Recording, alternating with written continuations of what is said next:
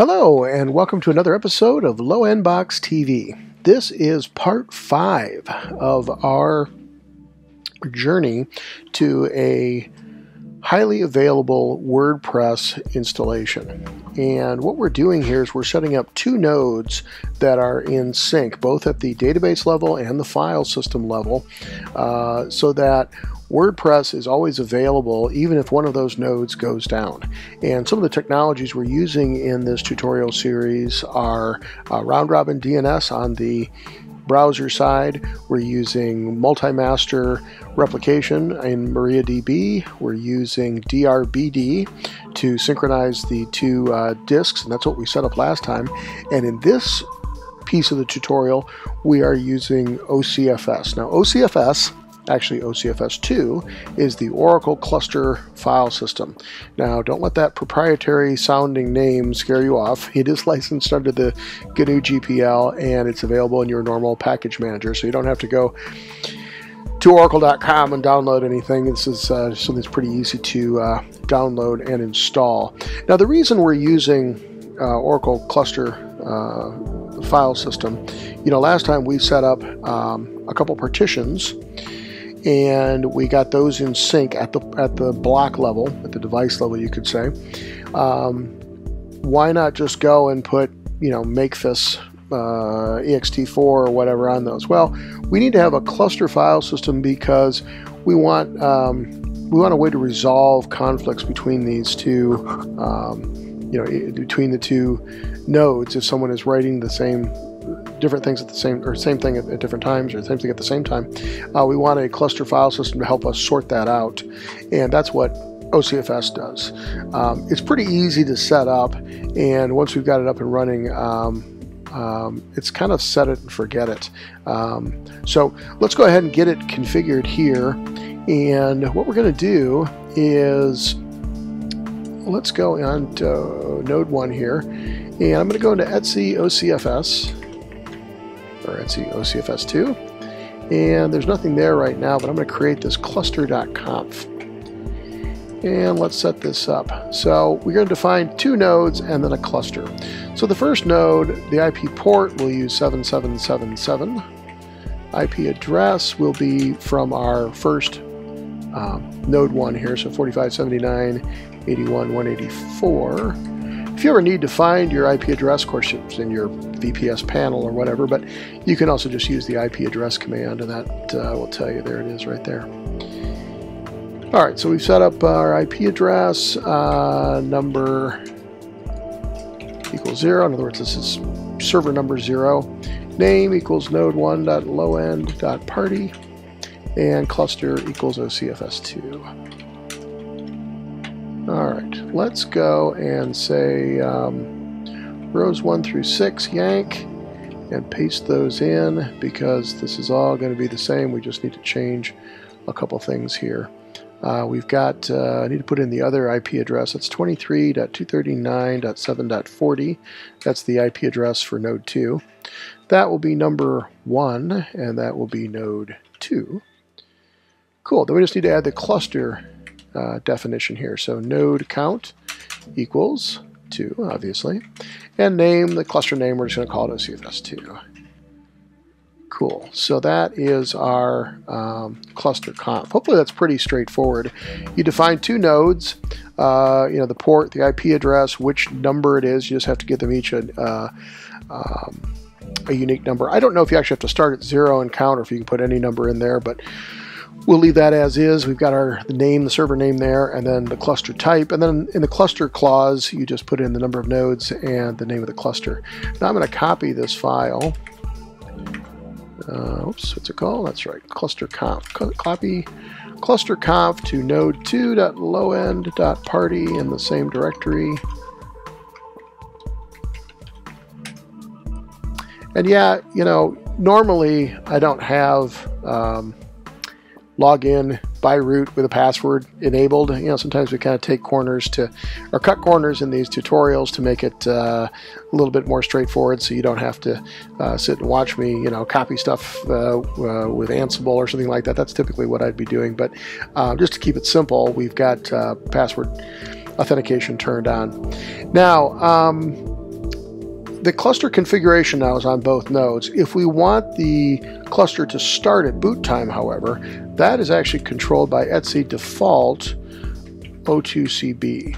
But if you look at that file, it says this is a configuration file. Uh, it's generated by running dpackage. It says please use that method. So rather than edit this um, uh, by hand, we're going to do a dpackage reconfigure OCFS2 tools.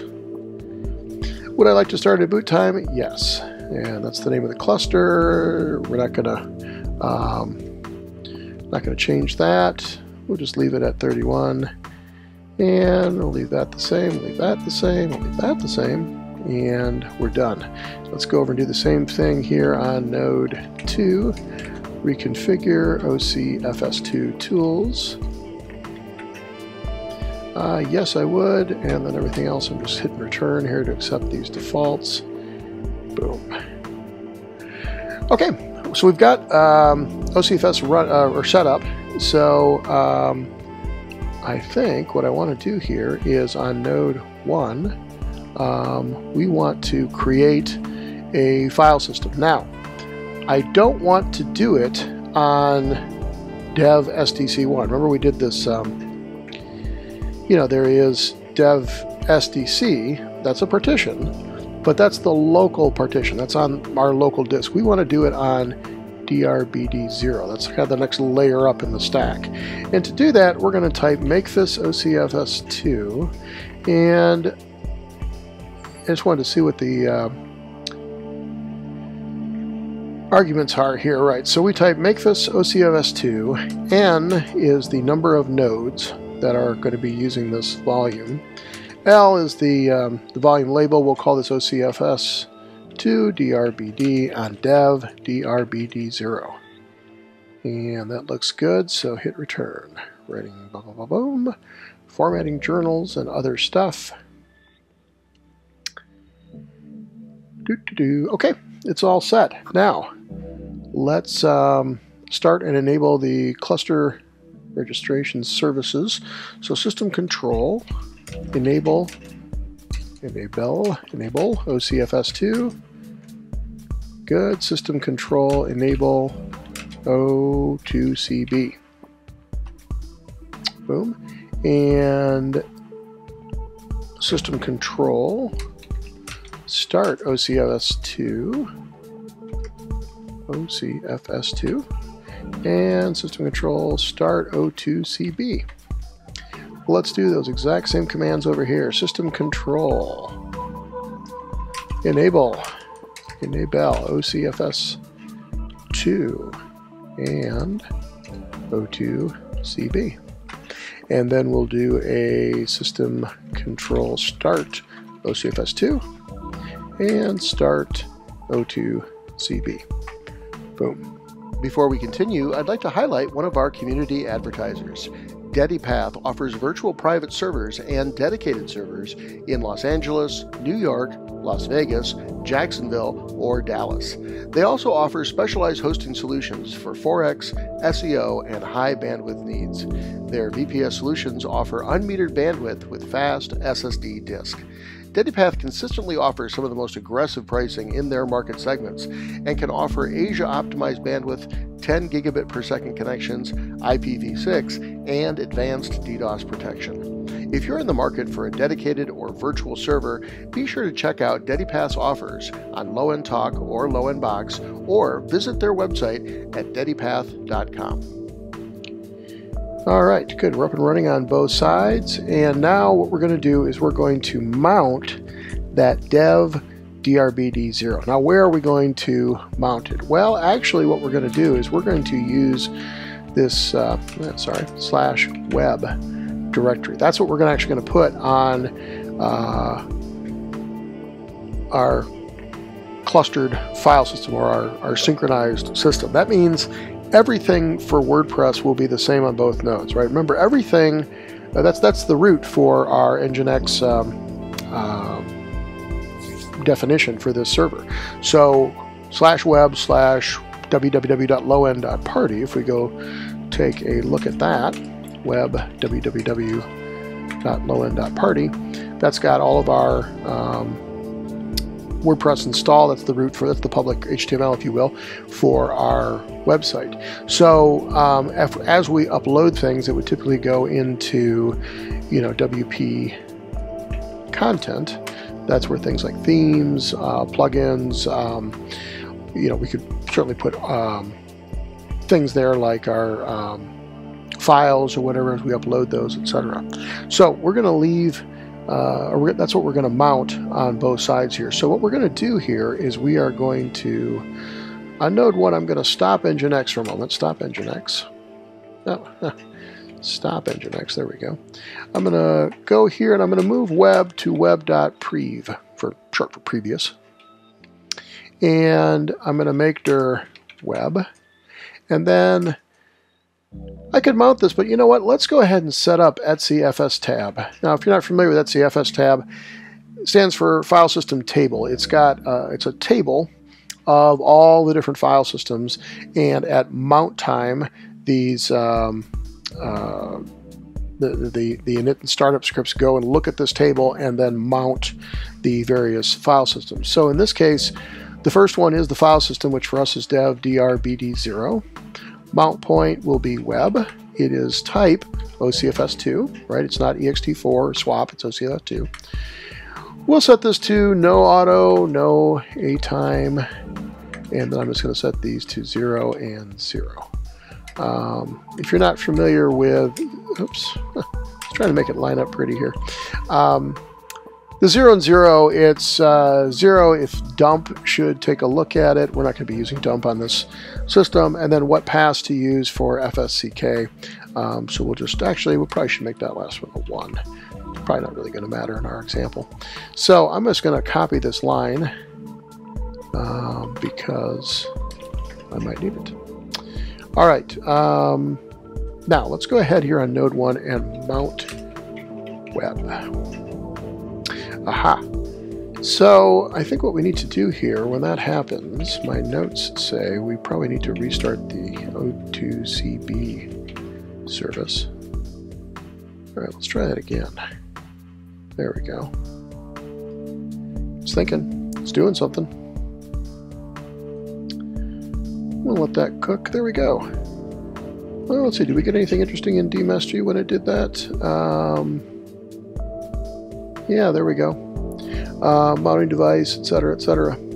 So let's go over here to node 2 and um, I'm going to do kind of the same thing here. I'm going to go to um, root file system move web to web.prev, make dir web, and modify at CFS tab. So dev drbd0.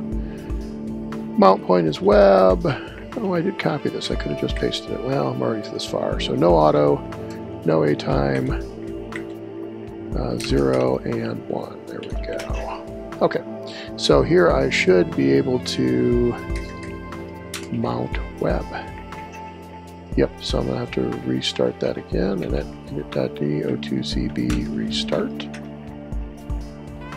Let's try it again. Mount web, it'll take a moment and then it'll be mounted up.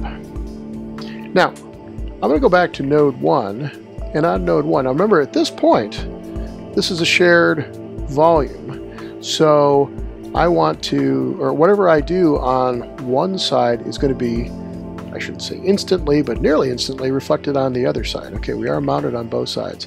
So on node 1, I'm going to go back here to web.prev, and I'm going to move the www low end party directory into web. Now, if this was not a shared clustered file system, that would have been instant, right? Because it's not that big. It's, uh, what is that? Um,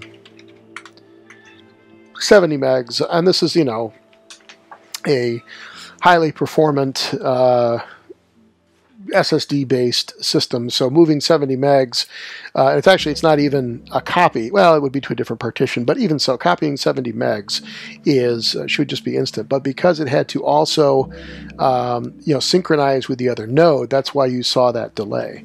Now, if I go to cat proc drbd, Yep, we're still up to date and in sync. Now here's the acid test. I am now on node 2. What do I have in web? Hey, look at that. I've got www.lowend.party, etc., etc. So I can do things like um, touch, web, copy, test.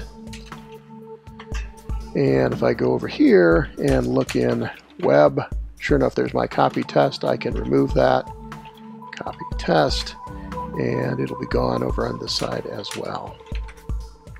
Boom. All right, so I have my two uh, servers in sync. The only thing I need to do here is system control start Nginx because I had shut it down before.